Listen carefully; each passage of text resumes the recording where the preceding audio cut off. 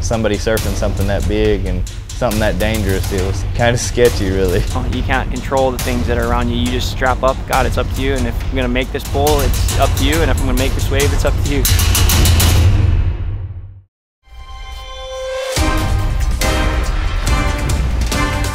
You wouldn't think that would ever happen, you know, these two sports getting together. Bull riding and, and surfing are so similar that it's kind of scary.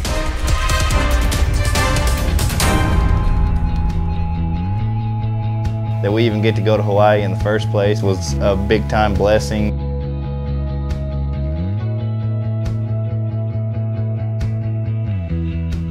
The pro surfers, they took us surfing and, and, showed us a little bit of their world. We wanted to show them a little bit of our world. The first ride, I come out of the chute and I hit the ground and I was like, that was so much fun. I need to actually be able to focus on what I'm doing. Watching Derek surf pipeline was just so inspiring to me. You know, it doesn't matter that he can't see. You know, just getting to come on this trip has just kind of opened my eyes how I need to be strong and to uh, show God's love to everybody. The miracles are just unexplainable. It's the Maker that's in charge, and what we receive is from His blessings.